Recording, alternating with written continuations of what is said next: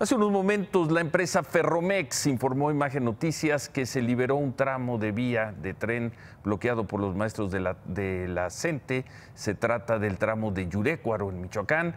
Es el que opera Ferromex, cuyos empleados están pues deben estar haciendo en estos momentos la verificación de las vías para que pronto comiencen a pasar los trenes que van a Jalisco. Siguen bloqueados dos tramos, el de Uruapan a Calzoncín y el de Pátzcuaro. Los dos son operados por otra firma, por eh, Kansas, por la empresa de trenes Kansas City.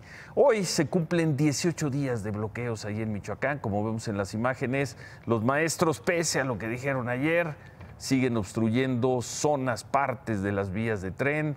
Ahí están las tiendas de campaña, ahí están, son imágenes de hoy. El bloqueo de Uruapan es el más numeroso.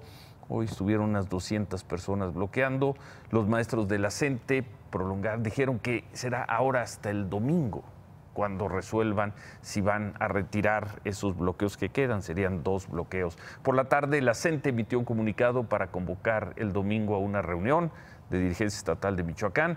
La idea es llevar a esa mesa lo que se aprobó en las asambleas regionales que están reunidas desde esta tarde. Los maestros, pues bueno, van a deliberar van a decidir si aceptan o no los nuevos planteamientos que les hizo anoche el gobierno del presidente López Obrador y el gobierno de Michoacán. Hay que recordar que lo presentamos aquí. Anoche, se dio esta reunión, terminaron en la madrugada, el secretario de Educación dijo que había resultados, había elementos alentadores, lo cierto es que siguen los bloqueos, uno de los planteamientos que se dio ahí fue para que los maestros se replegaran, fue darles alrededor de 500 millones de pesos para saldar adeudos. Pero el gobernador Silvano Aureoles aclaró esta tarde que la entrega de ese dinero está condicionada. Primero, deben liberar vías y volver a clases. Después, después les darán su dinero.